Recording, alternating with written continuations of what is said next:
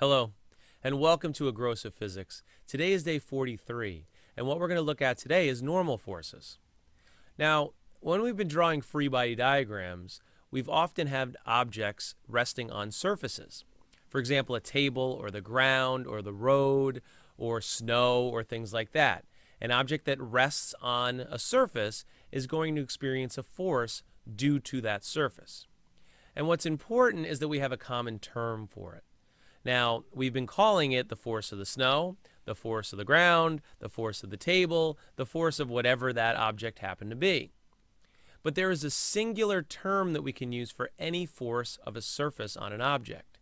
And this is going to be our foreshadowing for friction when we talk about that in a little while, because friction relies on this, this force. In fact, the name for the force is the normal force. And the reason we have this term is because the force is always going to be perpendicular to the surface. No matter what we do to the surface, if we were to have it flat, it would be straight up. But if we were to take it and um, incline it and have it tilted, what you'd find is that the normal force is always going to be perpendicular to the surface. So the surface will always push back on an object at 90 degrees to itself. Now in math, the word normal means perpendicular. We could call it the perpendicular force, but over the years, the normal force just flows better and it sounds a little easier to remember. So what we're going to use is a subscript n, capital N, to represent the normal force. So it's going to be F sub n. And it's always going to be the force of the surface. So no longer will we need to write force table, force ground, force road, or force whatever, snow or whatever it is. Instead, we're going to write F sub n. Now that being said, the question is, will the normal force always be equal to gravity? In a lot of problems, it will be the same as gravity. In fact, if we were dealing with an object that was 10 kilograms just resting on a table, well, 10 kilograms is the mass. We'd multiply that by 9.8 to get 98 newtons. That would be the force of gravity pushing down. And then the force normal going up would be 98 newtons. Now, the way we can do that mathematically is set up an equation. There's no sideways motion, so we wouldn't have to summate the, um, the x direction. But instead, what we would do is sum the y direction. And the way the equation would look would, would be the follows.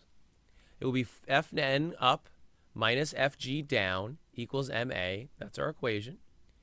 The m was 10, but the acceleration is 0.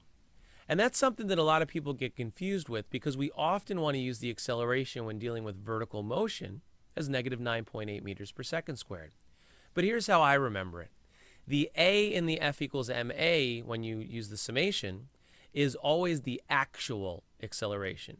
Is it actually moving in that direction? If so, you put the value.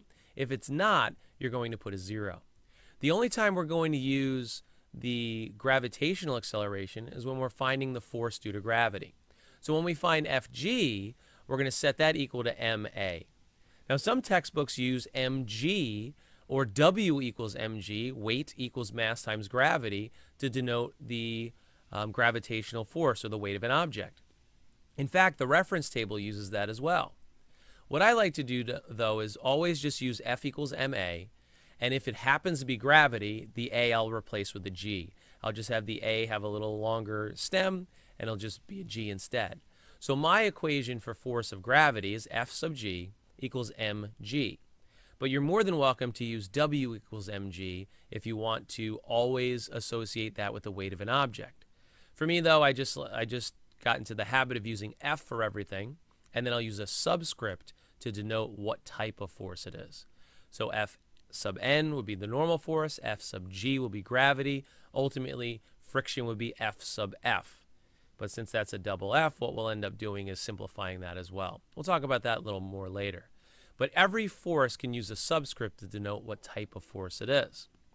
That being said, in that example, the force of gravity was the same as the normal force. But let's say we put an object on top of the book. So now we have um, an extra five kilogram mass resting on top of the book.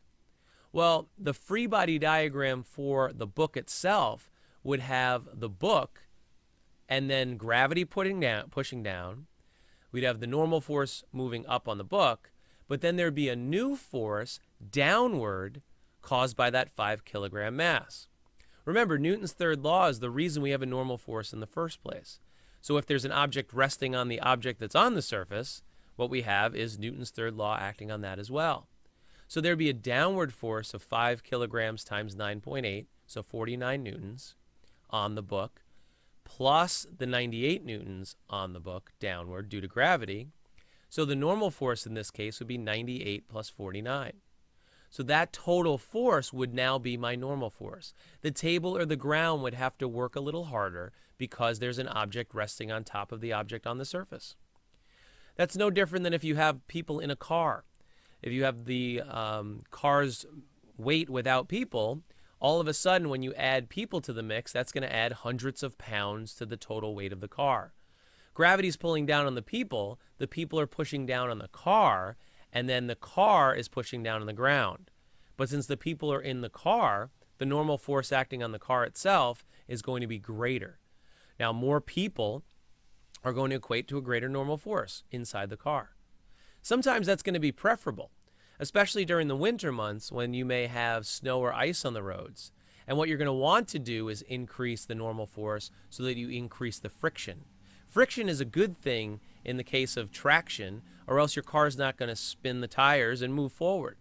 So, what people often do is if they're experiencing a lot of um, trouble driving, especially in rear wheel drive vehicles, what they'll do is they'll put a lot of mass in the trunk, extra bags of sand, or some people use cat litter or things like that. And what that will do is increase the normal force of the, of the vehicle. Now, normal force, we're going to count it as in the center of the object. So we're going to look at the center of mass of the object, and all of the mass is concentrated at that one point. But the reality of real objects is that depending upon where the mass is distributed, that will affect where the normal force is residing. So there could actually be different values that the ground has to exert depending upon where the mass is distributed for the object. For example, uh, on a, on a front wheel drive vehicle, um, what you'll often have is uh, the engine in the front, so you have a lot of mass over those front tires. So that's going to increase your traction. When you have a rear wheel drive vehicle, the weight's still in the front because the engine's there, but then all of a sudden the back is lighter. So it's going to be more difficult for the car to grip into the snow or ice and move forward. Now, there's other ways to increase traction, and that could be using chains or possibly studded tires. But just with a normal car not changing anything, putting extra weight above the tires would allow them to get better traction. Now, that being said, we would not always have a situation where the force of normal, the ground's force, is going to be the same as gravity. Other forces could be involved. In fact, I could even be pulling up on the handle of a wagon. When I'm pulling a sled or a wagon, wagon, when I pull it at an angle, some of my force moves forward, some of my force is being moved upward. What we would have to do is resolve the vector into components. But in the case of pulling the sled or the wagon, as I pull up, I'm actually making it easier for the ground because I'm helping pull the wagon upward. Now, of course, I'm pulling at one side of the wagon, so I'm really only lifting the front end. But the way we look at introductory physics is we concentrate all the mass to the center point of the object, the center of gravity, and we're going to use that, all the mass acting at that point to determine the force of gravity, number one, and then the normal force, number two. So in the case of a wagon or a sled, what I would do is actually have less normal force than gravity. If we have an object resting on a surface, then that would increase the total normal force. So normal force is not always going to be equal to gravity. Sometimes it will change.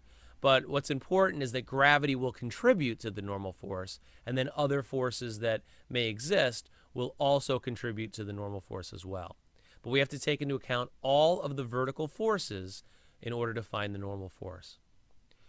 So once again, this was the normal force discussion, and I thank you.